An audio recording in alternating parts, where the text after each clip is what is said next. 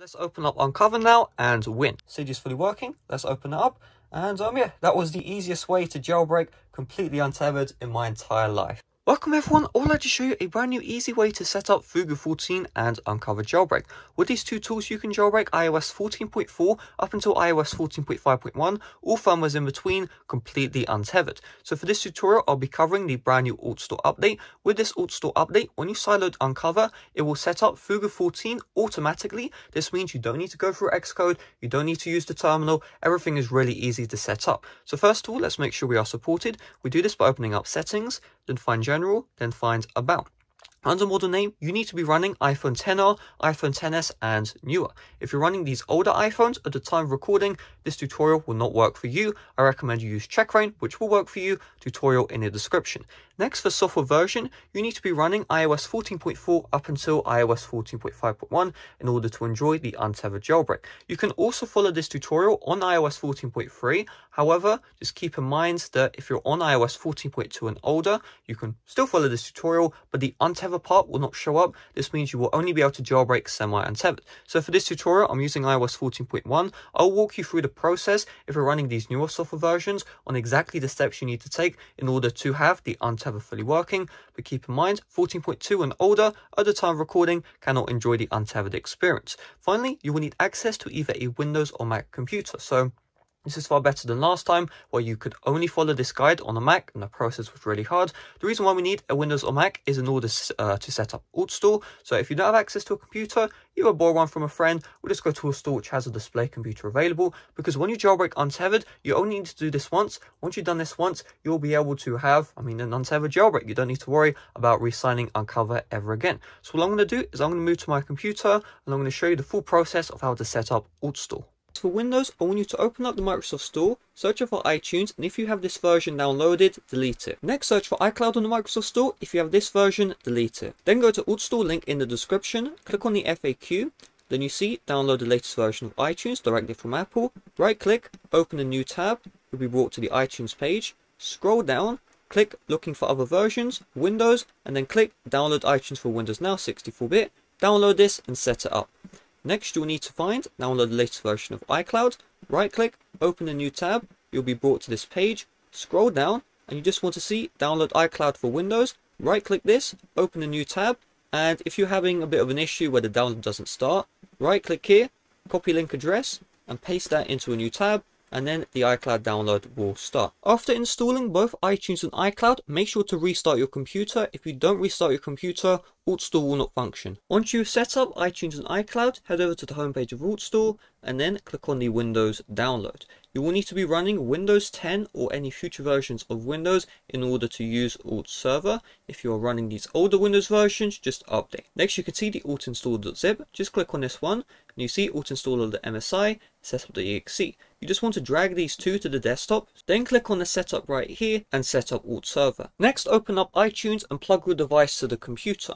On your device, you should see a message saying trust this computer. Just tap on trust, enter in your passcode. If you see this message, just click on continue. Then click on agree to this welcome message and you should see your iPhone show up. If you see this message, just click on continue. And once you're on this page, you want to scroll down to the bottom and you see right here, sync with this iPhone over Wi-Fi. Click on this and then click on apply, then click on done. Then we can close out of iTunes, quit, and then search up for Alt Server and open this one up.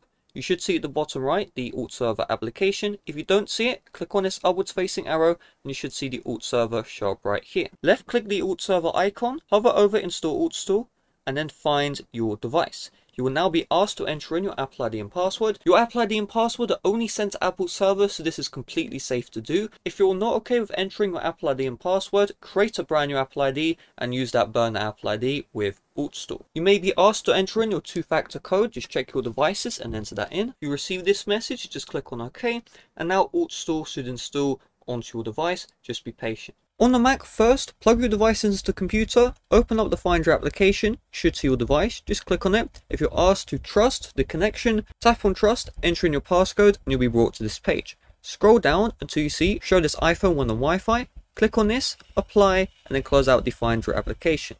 Next, go to the AltStore download in the description, click on macOS, save, and wait for AltStore to download. Click on the .zip, wait for it to extract, and you see the Alt Server application. Drag and drop this into the applications area. If you have installed AltStore before, just click on replace. Next, right click on Alt Server, open, click on open again.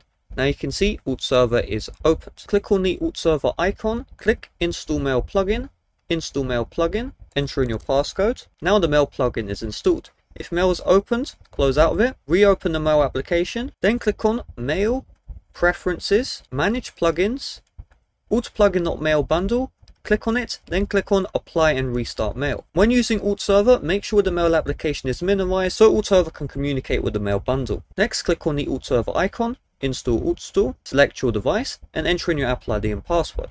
Your Apple ID and password are only sent to Apple servers. However, if you don't trust AltStore, create a brand new Apple ID and use that burn Apple ID inside of this field. Once you've entered your Apple ID, you may see this prompt. Just click on continue, and now AltStore should install onto your device. Once AltStore is installed, I want you to head over to settings, then find general, then find device management, then find developer app, tap on trust, trust again, and then the AltStore application should open up. Once AltStore is open, you may be asked prompts such as allow AltStore to connect to devices on a local network. Just tap on allow for that.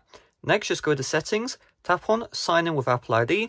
If this page doesn't show up, but you see instead cannot connect to alt server, all you need to do is just plug in your device into the computer until you're done with the jailbreak process. Here you just want to enter in the same Apple ID and password as you used to sideload alt store. Once you've done this, you'll see how it works. Just tap on got it and we're good to go. Next, just head over to the Uncover website and just tap on Open in AltStore. Open again, and now for me, Uncover is going to regularly sideload. For you, you're going to have a different process. So if you're on 14.4 up until 14.5.1, you're going to see this message right here, which says Jailbreak requires untethering. Just tap on Install Untethered Jailbreak. Once you do this, you're going to see this message saying Installing Uncover Placeholder. If anything fails, again, just make sure you plug your device to the computer make sure alt server is open. After the placeholder has installed, you have an option to open the placeholder application. The placeholder application should look something like this. Just tap on Setup Fugu 14, wait for it to complete. Once it's completed, you'll be asked to go back into the AltStore application. And once you're here, you'll see patching uncover placeholder. It will either automatically open you to the placeholder application, or you'll just need to open up manually by just tapping on the button. And once you're here, instead of setup Fugu 14, you'll see install untether or jailbreak untether, something like that.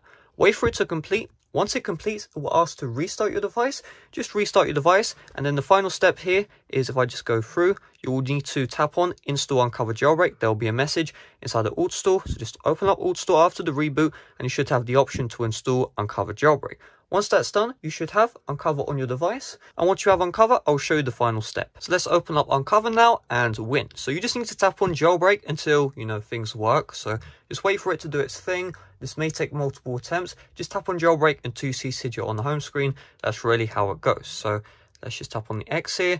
I think I need to do this one more time. So I'll just tap on OK and I'll cut. So once everything is done, Alright, here we go. It's almost done. Now keep in mind, after you jailbreak successfully, you'll see an Untether app on your home screen. This will only show up if you're running the iOS 14.3 up until 14.5.1 firmwares.